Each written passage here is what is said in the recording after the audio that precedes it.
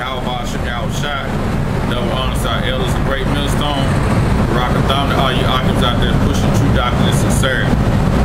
Uh, I'm gonna read out of the book of uh, Second uh, Timothy 3 and 16.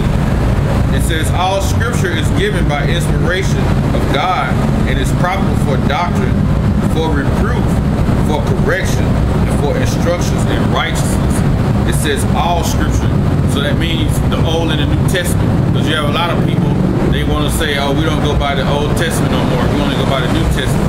The scripture says all scripture. So that means the whole book. Because the Lord said he come in the volume of the book in Isaiah 40 and uh, 7. It says for reproof and correction.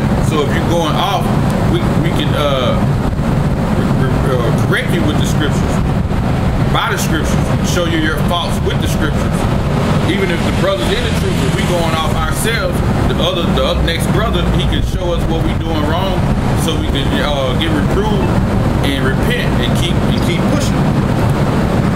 This is uh, Titus 1 and 15 it says, Unto the pure all things are pure, but unto them that are defiled and unbelieving, nothing is pure. These words of the Most High are pure words, man. They, are, they are uh, instructions, way of life to go by. If you don't go by then, hey, man, all we can say is death is going to be unto you, man. But for the ones who go by the elect of Israel, you will inherit, uh, you will inherit the kingdom.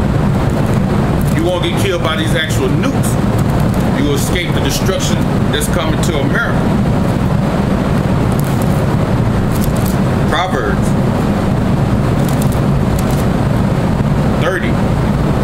5. Every word of God is pure. He is a shield unto them that put their trust in him. So we put our trust in Yahweh Hashem, Yahweh Shai. We go by these laws, these statutes, and commandments. We have faith. And the way we show our faith is to obey these laws and these statutes and commandments. With that, all praise be to Yahweh Hashem,